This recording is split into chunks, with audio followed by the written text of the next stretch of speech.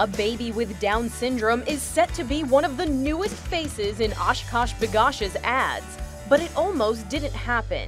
18 month old Asher Nash clearly loves the camera, so his mom Meagan submitted his photos to talent agencies.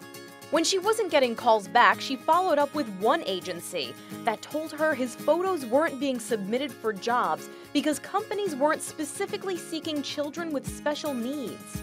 Shocked at this revelation, Meagan took to social media groups that advocate for people with Down syndrome. She believed her son and all children should be included in ads like these regardless of any disability.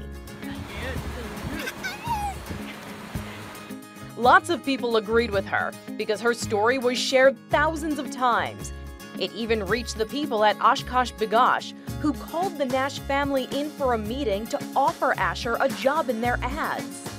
Meagan says she only wanted to have a conversation with them and was pleasantly surprised at the offer. Asher is also set to appear in Babies R Us ads, so it seems other brands have received the message Meagan says she was trying to get across that all children matter. For InsideEdition.com, I'm Mara Montalbano.